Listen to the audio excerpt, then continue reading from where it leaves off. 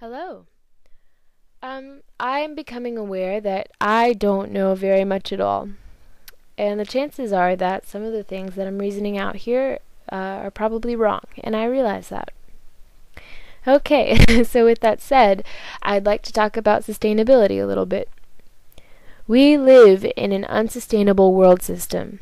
How so? Well, the resources we've traditionally used to continue our way of living are showing signs of becoming scarce. This has dire consequences for not only the organisms that are considered resources to us, but for billions of people today. The technology and aid organizations and development theories that we've created to fix this scarcity and also fix its consequences, they're problematic because they tend to also use up the same resources, so it just becomes the same problem. I'm pointing this out because these are attempts to find solutions within our current world system, and I'm saying that the system itself is unsustainable. I think that our current world system is a product of human nature. I've heard people say that the root of unsustainability is the Industrial Revolution with the advent of urban lifestyle, or that organized religion promoted man's superiority over nature. Globalization surely has a part in this, so that means we should probably look at colonization as well. It gets really complex. But if you go really big picture here, unsustainability's origin lies within a human characteristic. Right? Greed. And don't get defensive, I'm not blaming anybody in particular. We live in a world system where we always want more. But is greed human nature? I say no, because for 40,000 years, everyone lived in hunter gatherer communities, and contrary to popular belief, they led lives of relative health and gender and class equality with lots of free time. So greed wasn't really necessary. So when did we develop greed? Well, that would be somewhere between 10 and 5,000 years ago when we developed ownership. Why was that? Well, that was the beginning of agriculture. And as this new system developed, being successful meant having land, because that's how you got your food now. And you would obviously want your children to do well and therefore have land, so it made sense that one, you should give your children your land when you die, and then they'll have land. And two, if you get more land while you're alive, then you can give more land to your kids when you die, and then they'll have more land and do better at life. Ownership of land meant that people could store food also, and this became the new human expression of successful survival, not only caring for your children by making sure that they have a way of getting food after you're gone, but also over time as these children grew and repeated the process, having a lot of food. And that changed everything. At that point, success, and by association happiness, became about gaining more. The origin of agriculture is also where our relationship with the land, of course, completely changed. It's when we stopped living within ecosystems and started just using them as resources for ourselves. So from there, greed increases. And so does free time for a whole lot more people. Not the farmers, but other people who now receive food from the farmers. And they get to diversify in occupation, and the value of greed spreads to the new worlds of exploration and academia, where people with free time are curious about the world around them and want to know increasingly more. Were people before ownership curious about the world? I'm going to say yes, because I know of myths and stories of origin within hunter gatherer societies. But did they thirst for knowledge? And could they even apply an idea of ownership that didn't exist yet to that knowledge that they acquired? Now, they probably wouldn't even say acquired. So people are wanting to learn more and explore more, and wherever they go, they claim because now they just want it, and they don't have particularly any reason for wanting, they just know that more is better. And from here, springs forth colonialism, war, manifest destiny, industrialization, and from there big industry and globalization and the consumer culture. It turns out that um, some greedy people have thought to take advantage of the greed of billions of people to make money for themselves, and it actually, it actually works rather well for them. And because it works well, they cultivate it. We are influenced psychologically all the time. And we come away valuing consumerism, believing that we are caring for ourselves, our families, our communities, our world by participating in this system. This is coupled with the fact that our increase in medical knowledge has stopped human populations from remaining in equilibrium like any other species population ungreatly affected by humanity. Exponential population increase has become a huge problem. And I'm saying this unemotionally, but I don't even know if I could agree theoretically that we should stop saving people from dying of their ailments. And I would think that a vast majority of the world's population would also have a very compelling ethical determination to continue to help the injured and diseased and dying. So, when I say that our unsustainable world system stems from human nature, I'm not talking about greed, because that's not the root. I'm saying that our unsustainable world system stems from our inherent responsibility we feel towards the ones we love to take care of them. Because we have the ability to save lives, we feel compelled to when we can.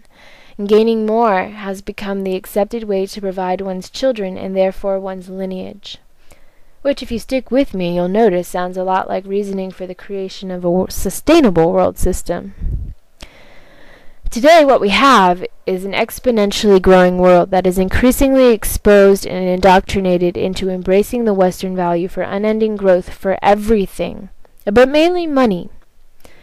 And maybe it was the way I explained it happening or some other way, but this is how it is. And because it doesn't occur to most that the current ideology is not the way it has to be, this ideology is not how it used to be, and indeed not how it can possibly be in the future. This current world system continues because the want for more is a value passed on to our children via ourselves, education systems, the messages of the media, and of advertisements. The difference between your child learning from you and from most everyone else, possibly excluding their peers, is that most everyone else is or wants to be making money from teaching your children. Even people with the best of intentions, and this is sort of my point, have to be influenced by this, and it flaws our judgment to the point that we believe our judgment cannot be flawed. And that small percentage that make much more money than everyone else, they have families that they all love, I'm sure. And I don't feel comfortable saying that they are completely removed from reality when they don't donate a large portion of their savings to world development, because it implies that they're the only ones. It's more like they're creating their own reality and we're all living in it. Their reality is this materialistic haven we know about and are concerned for billions of people living in poverty, but this materialistic haven reality says that they exist as a separate and unrelated entity.